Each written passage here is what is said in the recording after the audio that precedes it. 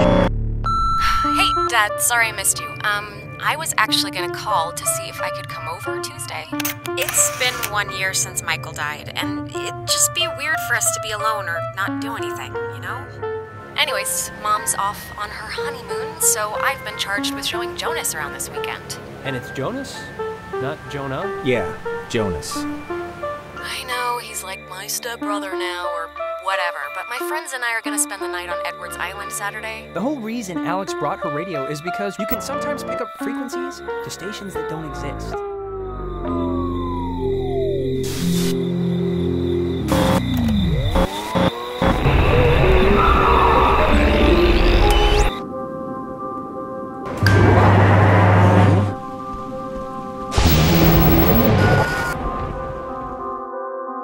Alex, come on.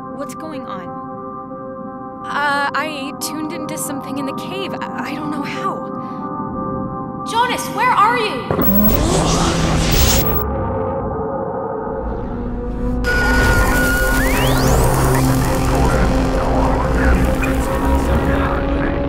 It's all I can think of to do.